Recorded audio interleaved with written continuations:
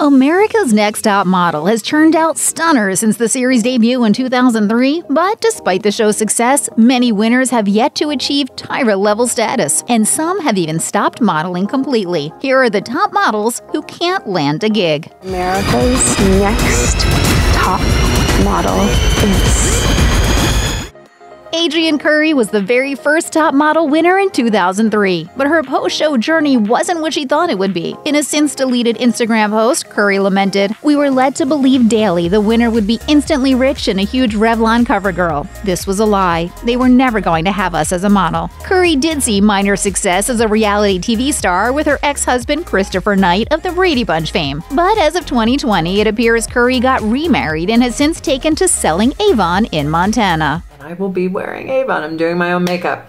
What can I say? I'm a frugal chick. Whitney Thompson was the first plus size top model winner, taking home the title in 2008, but she hasn't done much professional modeling since. I'm not finished. You know, this isn't this isn't where I stop. On her website, Thompson explains I am a restaurant owner, travel enthusiast, vegan, animal lover, fashion fiend, and stone cold. Thompson lives in Tennessee with her son and husband and posts vegan recipes on her blog, whitneyswanders.com. She also owns and operates the Copper Vault, a Springfield, Tennessee restaurant that's all about cocktails, live music, and small town charm. Chicago born Puerto Rican beauty Jaslene Gonzalez always wanted to be a model, and her dreaming paid off when she won Cycle 8 in 2007. Nice. With my family for to be standing here, I know they will be so proud of me already, you know, making it this far.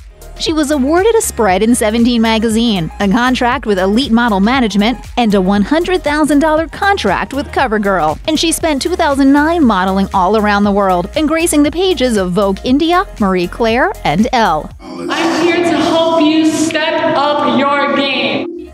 The top model winner eventually gave up the biz and parlayed her success into a modeling workshop, helping other hopefuls learn the ropes. Nicole Linkletter was 20 years old when she won Cycle 5. Just a small town girl from North Dakota, she took home a $100,000 CoverGirl contract, a Ford model contract, and a National Ford Fusion ad. She then went on to grace covers of Elle Girl and Malaysia Marie Claire, and walk for major fashion designers like Alice and Olivia. I was always the girl who never really got like that much attention. And now here I am. I'm a cover girl and I'm a Ford model. But just as fast as her success came, it appears to have gone. According to her Instagram, these days Linkletter is working it with her family. Brittany McKey Sullivan landed the top model title for Cycle 11 and went on to sign a contract with Elite Model Management, appear on the cover of 17 magazine, and sign a contract with CoverGirl. Still, she really hasn't modeled since. I'm married to a man who likes to smile an awful lot. He makes himself laugh all the time. He's his own best friend. Sullivan seems to be spending her time raising her family and supporting her UFC star husband's career. According to her Insta, she even practices martial arts herself. As she told TV Guide, I used to be a tomboy and play about every sport under the sun. Teyona Anderson won Cycle 12 of the show in 2009. The then 20 year old from New Jersey took home the standard prize package and spent several years working in the industry. I'm America's Next Top Model! But since then, Anderson appears to be enjoying the off duty model life as a devoted mom. She posted a tribute to her son in 2018, writing, You are the happiest person, just radiating joy everywhere you go. I couldn't be more excited to be your mom and watch you grow. Mama loves her Andy. Never would have been like, I'm to be top two on America's Next Top Model. Coming from a trailer park, who would think of such a crazy thing?